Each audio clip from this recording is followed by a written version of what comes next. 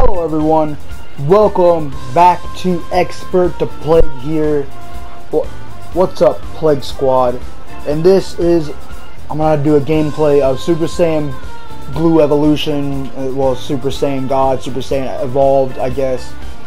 Here you see, we have this, it says, the Saiyan exclusive awoken skill, Super Saiyan God, Super Saiyan Evolved, can be acquired by any race which that is a lie because you cannot it can't be any race it's just for Saiyans you literally in the beginning it says Saiyan exclusive so I don't know what that's all about.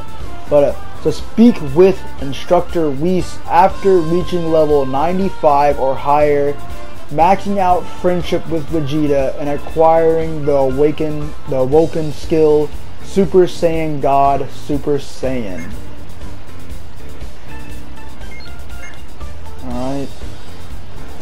Got all these. Blockbuster. I see I'm not I am literally not in anything. This is one of my older accounts, so I already got my other account, and I just wanted to showcase and read you guys that part right there. We are finna go to Whis. I'm not gonna use this, I'm not gonna freaking walk over there. I have not finished with him yet. King Exodus. I think I would have got it, so I don't know if it's gonna let me do it with Whis. And I think Whis is already my instructor. I don't think I even have an instructor right now. That's how. Well, Whis normally you'll find him over here. You'll talk to him, get the awaken skill, and uh, that is pretty much it.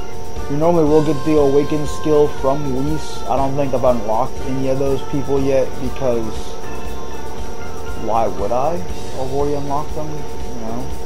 Not to mention my friendship with Vegeta on this account character is not even maxed.